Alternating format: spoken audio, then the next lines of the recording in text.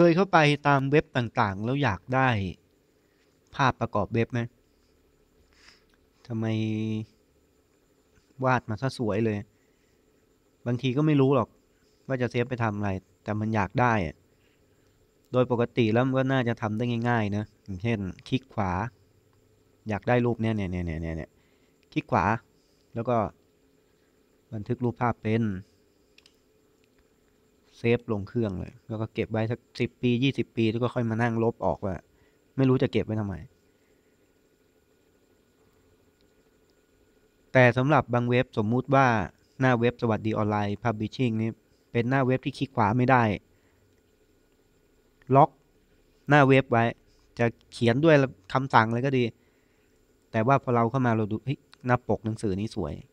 ทำไมสำนักพิมพ์นี้หน้าปกสวยยังเลย จะทำยังไงจะเซฟยังไงในเมื่อคลิกขวาไม่ได้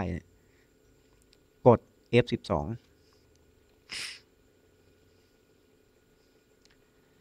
F12 เป็นการเปิดอะไร เปิดดูองค์ประกอบต่างๆของหน้าเว็บไซต์ใช่ไหมมีอะไรมั่ง Element เราจะสนใจตรง Element เนี่ย Console ไม่เอา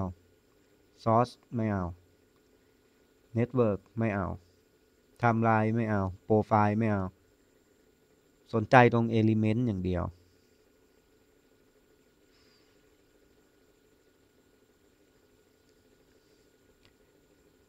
อ่า ลองเลื่อนดู ลองเลื่อนเล่นดูก่อน แล้ววิธีการก็คือ เราเลื่อนไปตรงไหน ตรงนั้นก็จะเกิดไฮไลท์ขึ้น เลื่อนไปบรรทัดของคำสั่งไหนก็ตาม ตรงนั้นก็มีไฮไลท์เห็นไหมไฮไลท์ก็จะค่อยๆ แคบลงเรื่อยๆ ตรงไหนที่เราเลื่อนเมาส์ไปบรรทัดไหนเลื่อนเมาส์ไปมีเมาส์เอ้ยมีไฮเกิดเป็นไฮไลท์ขึ้น ขยายมันออกมา เนี่ยแบบที่ตัวในตัวอย่างกำลังทำขยายมาเรื่อยๆเรื่อยๆเรื่อยๆดูซิว่าอยู่ตรงไหน เจอแล้ว รูปภาพอยู่ตรงนี้ ก็จะเห็นลิงก์เลยใช่ไหมวิธีก็คือคลิกลงไปหรือดับเบิลคลิกก็ได้แล้วก็แล้วก็คลิกขวาคัดลอก คัดลอกลิงก์ แล้วก็ไปที่ไหน ไปที่ลิงก์ตรงเลย